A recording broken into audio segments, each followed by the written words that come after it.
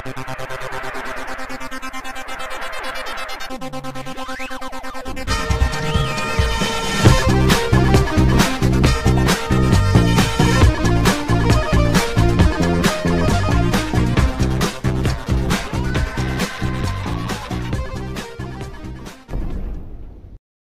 guys, welcome back. This is Matt Chat episode 265, featuring the second of a two-part interview series with Mr. Juho Salila, one of the co-founders of Almost Human and the developers behind the Legend of Grimrock series. This part of the interview, we talk about the changes that were made to the engine for the second game, including in a really awesome new playable race, a new character class. Uh, we also talk about puzzle design, the iOS version, and what lies in the future for Almost Human. Will we see a Grimrock 3? A lot of great stuff in this uh, episode, so without further ado, here is Mr. Juho Salila. So I really like some of the changes that were in part two. Uh, probably my favorite thing, and this was a huge flaw. I mean, just a gaping flaw in the first game was uh, missing the rats. Just yeah, I don't know what what happened there. Yeah, uh, but you guys made up for it with this one for yeah, sure. cool. Yeah, I don't think I've ever seen a Maybe I'm missing. This probably been it's probably been done at some point, but I, I don't know a game that actually lets you play as a rat. I'm sure. Yeah. Yeah, ratling. So how did this uh, the ratlings come about? hmm Was it you guys saw my video review and thought, okay, no, no, no, actually, no. we're gonna Um, show him? so you want rats, huh? uh, we'll give you rats. Um, I guess it was um, again. It was an organic thought process. Um, we we are we want to have um, uh, a non-standard uh, species in the game. So there, there's no uh, elves or dwarf or dwarves or halflings. Who needs a dwarf when you got a, a ratling? yeah, but, but then the thought of ratlings is kind of cool, and uh, uh, actually they have some some Skavenish uh, vibe in them, and uh, I, I I just personally love Warhammer stuff, so it was fun to design those uh, ratlings. Oh, there's a, a Warhammer has a ratling kind of creature. Yeah, they have the Skaven. Uh, Oh, ratlings. Skaven. Oh, I yeah. haven't- haven't really played much of that series. but, but they're, they're cool. So um, we thought that uh, they they have some kind of like like weird primeval stuff going on with with like human mind also. So okay. I really like that special trait they've got, the, the mutant. yeah, it's cool. That is cool. yeah I was thinking about making a party with just all ratlings. yeah. One guy was um, actually let's play doing let's play videos with uh, ratling farmers. it was fun. Yeah, that's another thing. The farmers. And I haven't heard of anybody doing that either. So these guys, they get instead of they don't get their experience points the normal way, right? Instead, they Yeah. they're, they're eating. yeah, they, they need to eat to get gain experience. So Where did you get that idea? Um, I guess it was. I guess it was a coder, um, and I guess we were having lunch at the time. So, and uh, it, it was something. Like, What were you eating? we we were eating um, uh, beetroot bread.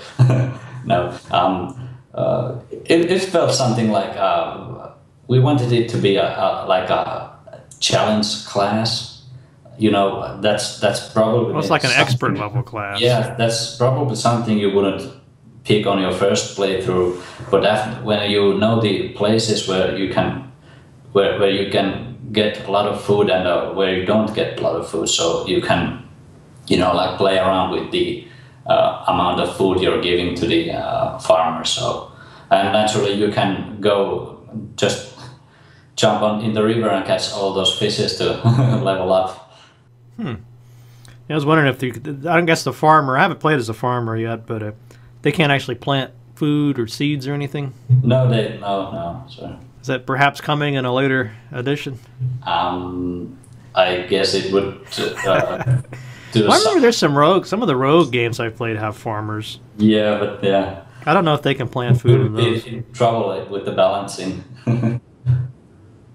Uh, so what you know in the firearms too? I don't think those were those in the first game. no, no. Okay, so those are new. yeah, Yeah, so that's a pretty cool thing. Uh, however, there there does seem to be a problem with the ammo.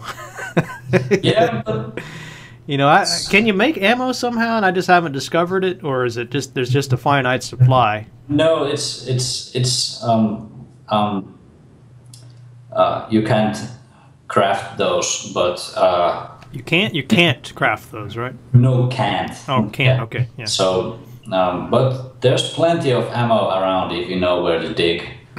Oh well, it's all my fault. oh, you can dig for it. Oh, okay. No. yeah, just go dig around. but Yeah, I um, keep finding all these cool rifles and things, but I don't have enough bullets. Yeah. But uh, they are meant to be, uh, you know, used sparingly. So uh, we didn't want to outbalance them because they have some cool features or nothing like the six shooter and stuff like that. So it would be too fair uh, compared to the other other other um, throwing weapons or, or the bows. I was kind of having some fun role playing uh, with that hand cannon, those cannonballs, and I mean, realistically, who wants to carry around like twelve cannonballs? I mean, my, my party never got the strength to carry one, so I always drop it. yeah, yeah. It's uh, you know, is, are there any plans to have some kind of store in the game, or some place to sell the stuff you find, or Um, you know, is that perhaps is that something that you might consider at some point? I don't think so, because um, it would, you know, uh, the there would be there would have to be like a, a storekeeper to it, and uh, I don't think it would fit the theme theme there. So probably no. Maybe some kind of vending machine. I just think it'd be kind of cool if you could sell some of the gear you don't need and get some ammo or something like that. Maybe. Okay, let's see what else. But anyway, I do like the, the firearms. Yeah, they're cool. We were. I was personally. I was a bit skeptical uh, when we started th- uh, thinking about it, but uh, I, w- when I when I shot the first time, then I, I was sold. It was so cool. Yeah, there's something about just hearing that boom. Yeah, yeah. or, or when the arquebus uh, like uh, fails and explodes to your face. Yeah, that's not so. that's not so. Yeah. So David Beatty had a question about: Are you planning? I guess this is for future games, uh, but are you planning any multiplayer capabilities? To Grimrock. Yeah. Uh, no.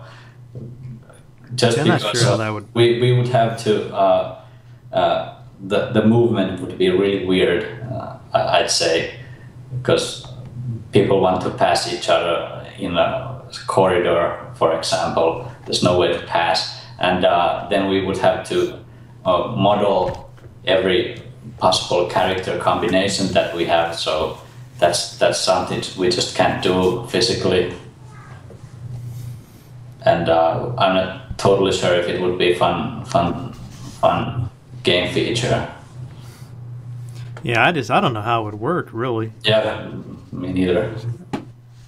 Uh, okay, so you know one thing I really liked was this the story I read about the you guys put this touchscreen interface in uh, for the guy that I, I guess he was says he was using a mouth stick for typing, so I guess he was Oh, pretty yeah. uh, pretty serious uh, seriously disabled. So It, it, it was time of the first first Grimrock, and uh, um, I guess he's he's some kind of has a, some kind of disability that he uses some kind of mouth stick to control his uh, computer, and uh, uh, he was um, he was uh, writing to us. I guess it was in our blog or something like that. That uh, could we include the uh, you know the traditional uh, directional arrows. So we, we thought that well, why not? The old games had them, and uh, um, that's that's one of those uh, you know lucky shots that we got with the first one because it, it went semi-viral the story, so it was all over Reddit and stuff like that. So it was gave you guys a lot of positive karma. yeah, yeah, but definitely something that that, that wasn't planned. Some uh, cynical people think it was a publicity trick, but no, it was just like a lucky lucky thing. Was it? Uh, is it an option for the second one too, or? I yeah, yeah. There, oh, you I, can turn it. I'd say the. I guess there's still the arrows are optional there. You haven't really dug into the options, but you can turn that on if you want. Yeah, yeah, you can. Okay. So, do you have plans at some point to start doing box copies of these games with the cloth maps and uh, yeah, all we, the goodies? We've been drooling about like.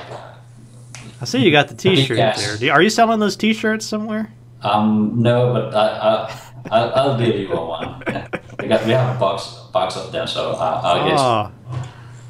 Um, but um, We've been talking on and off about the, you know, something like special edition or stuff, stuff like that. Yeah, but there you now you're talking. It's it's just business wise, it's just not uh, sensible. It's it's we, we wouldn't get anything. It, it would be so much work, and then we would need to get uh, PG ratings and stuff like that. So it, it's it's it's not that simple simple of a process. But I'd love to have like figure and a big map poster and stuff oh, like that. So, but big box. yeah. Wouldn't you have fun designing the box? yeah, because but um, we've been talking a, a lot about it. So, but so far we haven't come up with anything that's that's um, you know like useful. So it's a bit shame. Hmm. Maybe you could outsource that to the fans, put together a little. Yeah, we, we, we've been given some uh, like contacts from around the world of doing that, but uh, like I said, it's it's not the best business. So uh, maybe as a as a fan fan favor, maybe, but we'll have to see.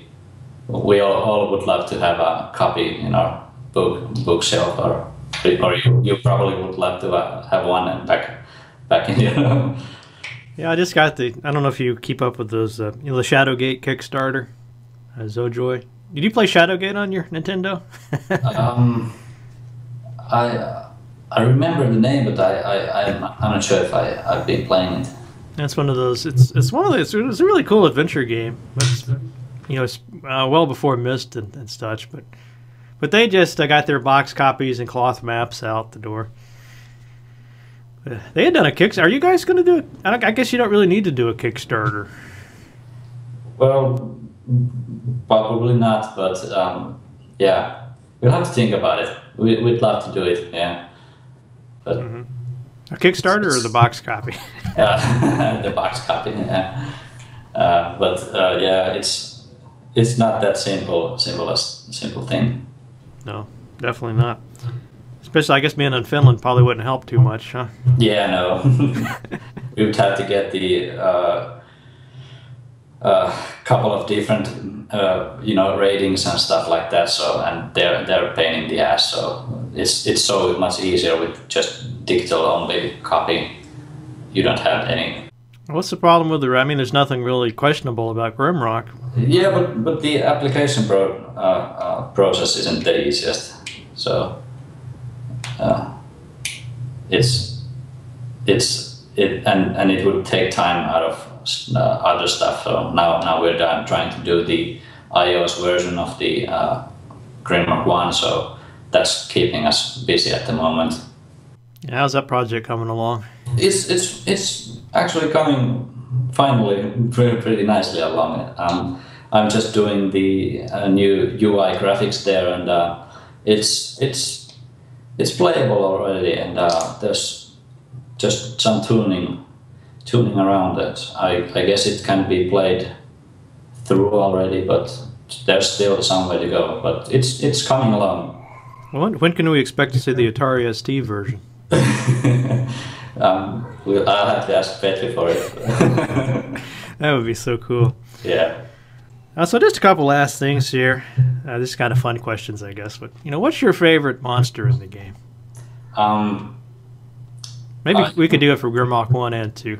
Um, I would have to say the trickster. Oh, or, that bastard! Or, or the, yeah. the leprechaun looking dude.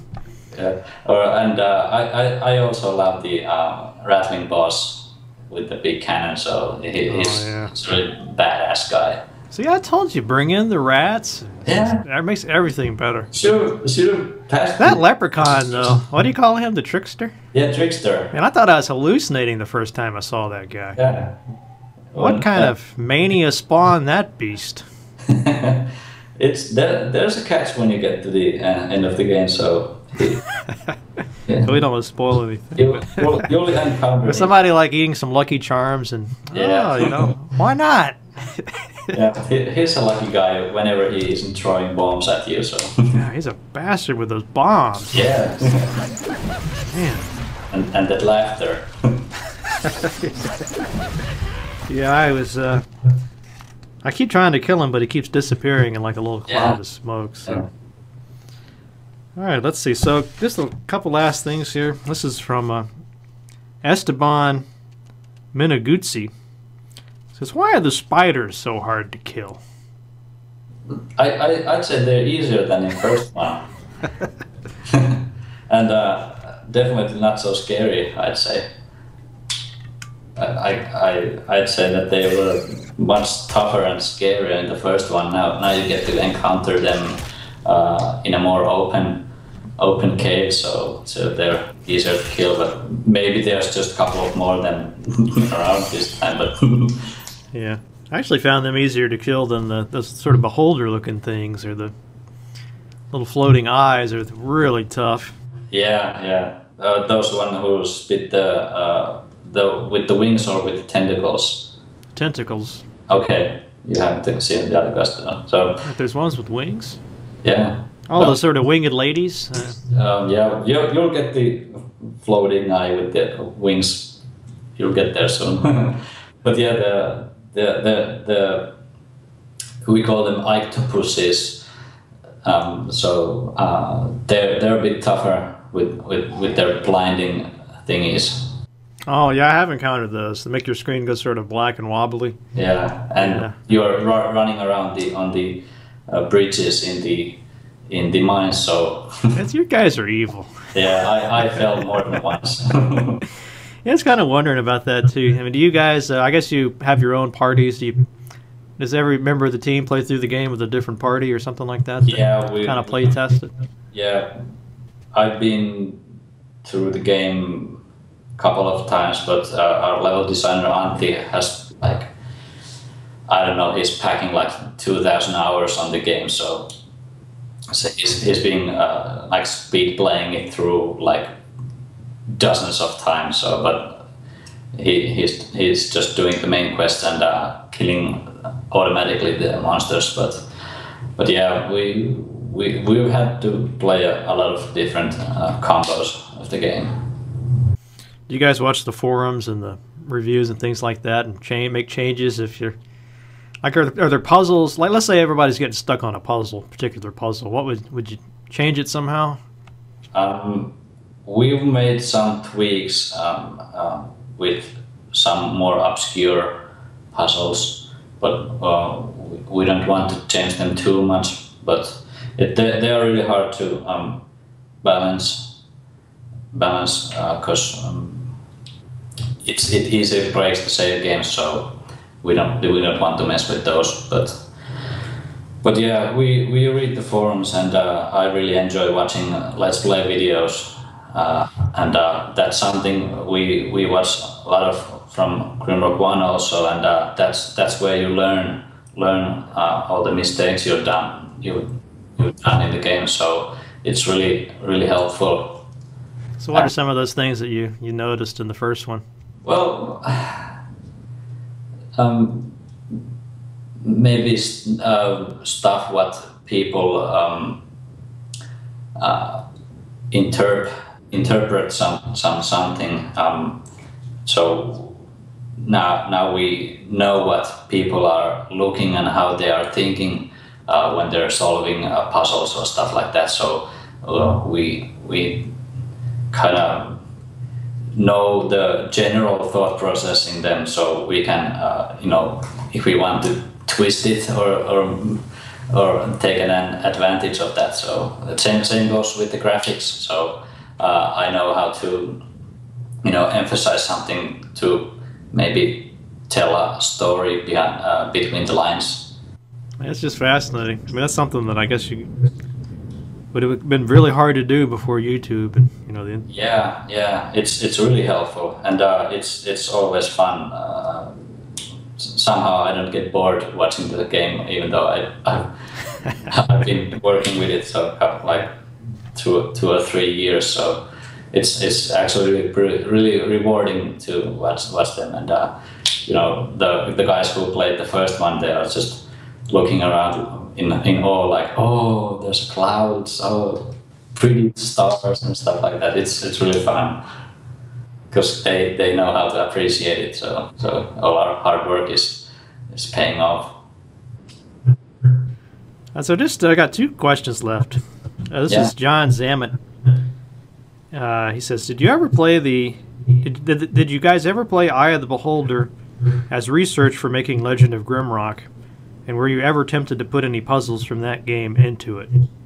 Um, yes, we have played it, but uh, they have been more like a reference of um, uh, when we get stuck on, let's say, like um, uh, we don't know how to do uh, uh some UI, for example, some UI problem. So uh, the user interface problem.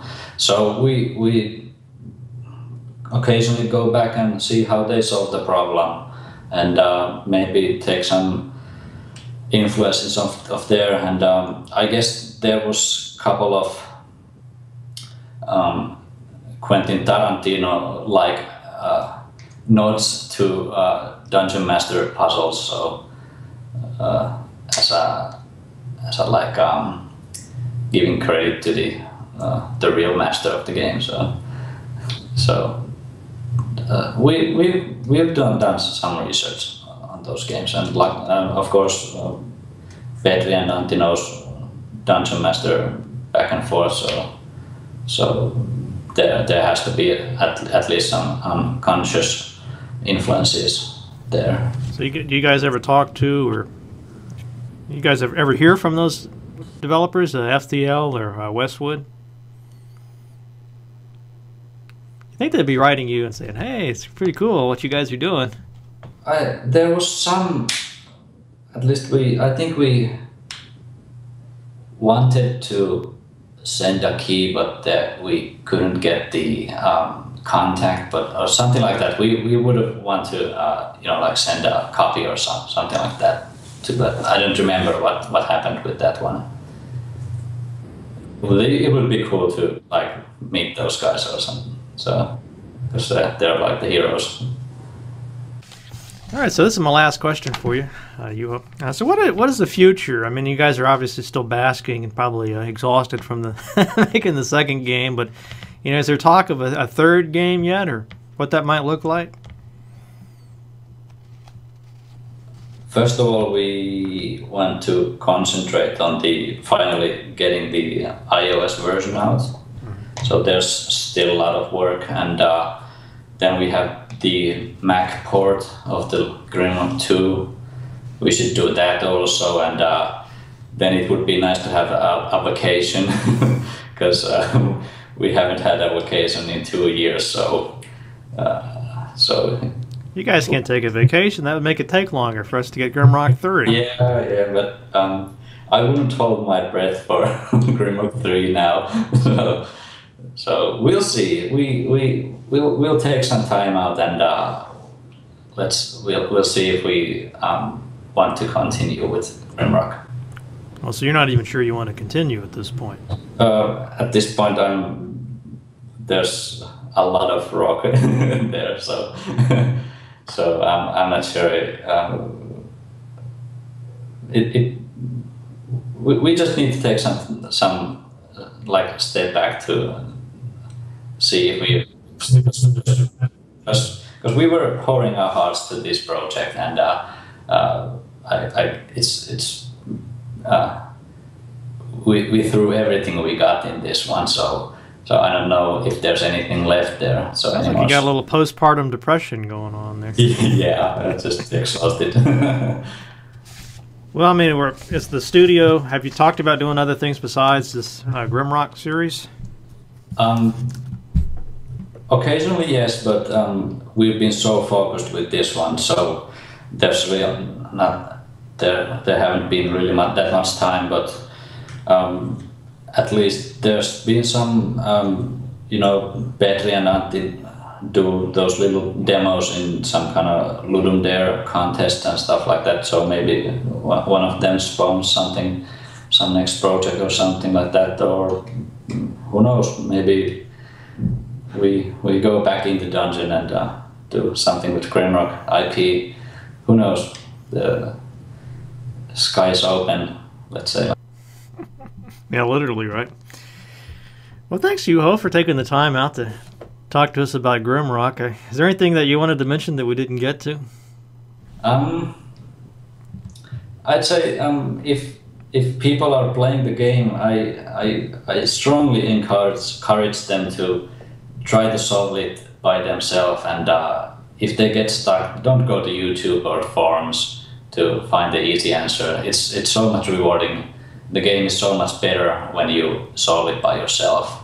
It's it's it, gives so much more back uh, if if you uh, you know solve some hard riddle or puzzle by yourself. You you're, you're going like whoa I'm the smartest smartest gamer alive. So it's it's really what what what the Grimrock is all, all about.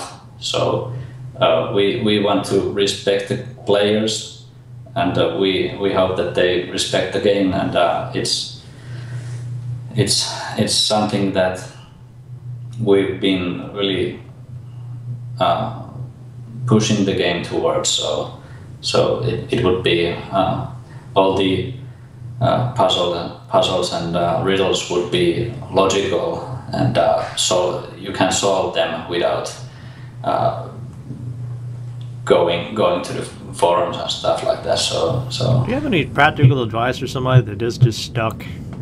Um, what helped for me is you know like if I get stuck, uh, I don't I didn't go through our files and uh, uh, level editor to look. I, I, I went to the other place, like like the wizard says in the in in in the bog. And so if you get stuck stuck or uh, counter um, too strong enemy, just go somewhere else and uh, level up and uh, uh, process process the puzzle in back of your head and uh, maybe come back next next day. So and uh, then the puzzle could be clear. At least it it worked for me a couple of times. Yeah, that one about the pushing that block around for the direction of the tundra and the desert. yeah, that I was that. Well, what? yeah, when, when you first pop in there, it's, it's like uh, it's, it's one of those moments.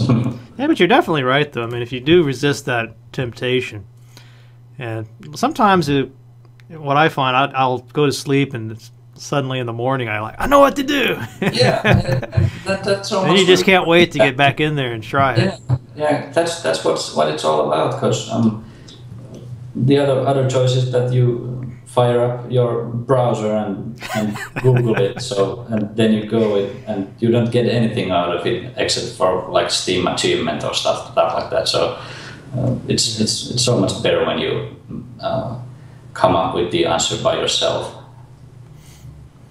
Well, agreed. Well, again, you, uh, you, thanks for taking the time. It's been lots of fun. Hope people will buy uh, Grimrock too. Yeah, I, am just selling pretty well, right? I'm sure. It's it's okay. Yeah, yeah. We're getting great reviews, and uh, uh, uh, the meta score is really high right now, and uh, um, it's it's going going good. Let's let's hope it continues.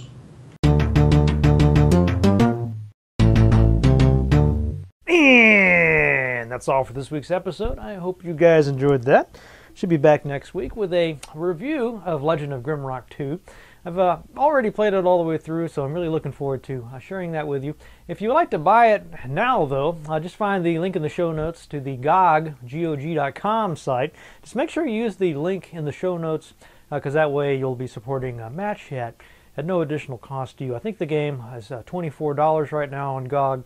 Now you could you could buy it on Steam, true, but uh, that's not going to support Matt Chat. so, you know, I'm not saying you can't, but uh, just bear that in mind, guys. I really, really appreciate the help. Uh, also, as always, I thank you very, very, very much, guys, uh, to anyone who has supported Matt Chat, uh, either through uh, buying games on GOG or by supporting me directly on the Patreon site. So if you would like to have your name in the credits and be part of this Matt Chat thing, just go to the Patreon link in the show notes and you can subscribe for any amount you want you know, a buck an episode, five dollars, uh, whatever you're comfortable with, and whatever the show is worth. Really appreciate it, guys. Thank you very, very much. All right, so what about the news from the Matt Cave? Well, a little bad news to start off with uh, the Black Glove Kickstarter. Uh, this was the team of uh, Bioshock Infinite uh, designers. Apparently, uh, even though I thought their uh, trailer look or their pitch looked really good, looked like they were really doing some interesting things with this first-person shooter genre. Uh, it failed, big kind of big time, uh, catastrophically, uh, 300k, $300,000 short of their goal. Uh, so that's not good news for them. You know, again, I, I hope that people don't take these uh, failed Kickstarters too hard and they don't give up because I really liked, uh, you know, what I was seeing in that pitch. So hopefully they'll find a way to, to make the game anyway. Now, some really awesome news especially if you're a fan of the arcade scene of the 80s and 90s.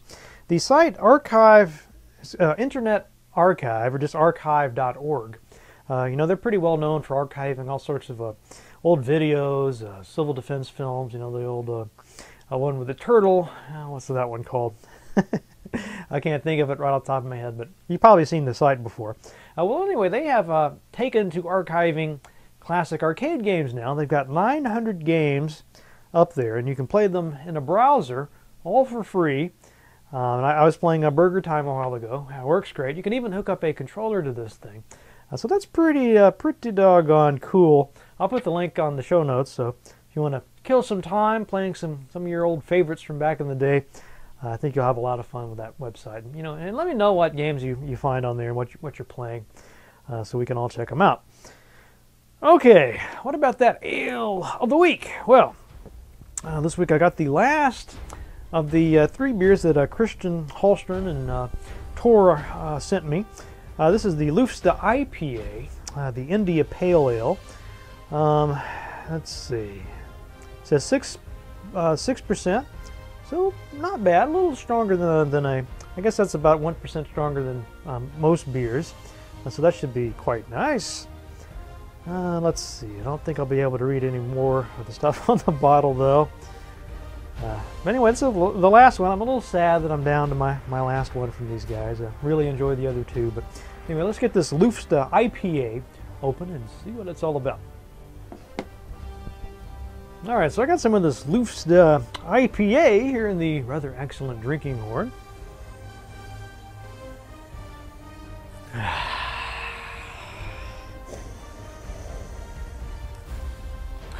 This smells so good. I wish you guys could smell this. I mean, you really smell the uh, just extraordinary, uh, the, the smell of these hops, just uh, very crisp uh, smelling.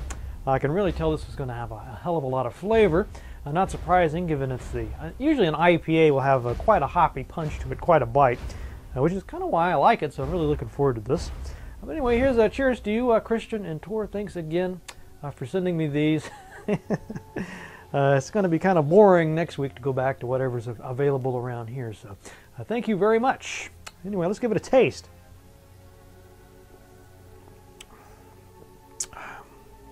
Yeah, just as I was expecting, lots of flavor.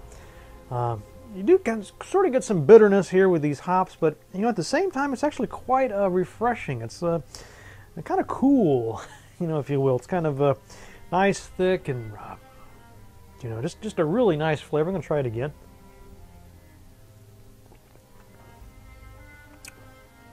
Yeah, I mean, this one's just really just uh, hitting all the right uh, spots on my tongue and in the back of my throat or whatever. Uh, just, you know, it's, it's, one of the best IPAs I think I've had. Um, the flavor, it's just right. You know, there's not too much. It doesn't try to, uh, you know, uh, uh overwhelm you with flavor. Uh, but you do get a very nice uh, taste going down, then the, and then the aftertaste is quite pleasant. You taste the hops in there, but it's not so bitter that you, you know, don't want to have another drink. Well, let me try it one more time. Yeah, this one just really hits it out the park. You know, if you like IPAs, I don't see how you go wrong with this. Uh, just the right amount of uh, hoppiness and bitterness, very uh, sophisticated uh, flavor on it. You know, you know, what can I say? Definitely going to go five out of five drinking horns on this one. I uh, really pleased with this uh, with this one. You know, this is a, just a really solid India Pale Ale. I'm going to have to see if I can find these around here somewhere. A Lusta IPA, yeah, it's really really good. If you can find this, I definitely recommend it think you will enjoy it. All right, let's wrap this up with a quotation. And I was looking uh, for quotations about uh, problem solving. I was thinking about Juho, and he, he, was talking about puzzles and you know how easy it is to get stuck and all that. And I, I found this a uh, pretty fun quotation from George Bernard Shaw, the uh, playwright. It goes something like this: "The single biggest problem in communication is the illusion that it has taken place." so think about that and see you guys next week.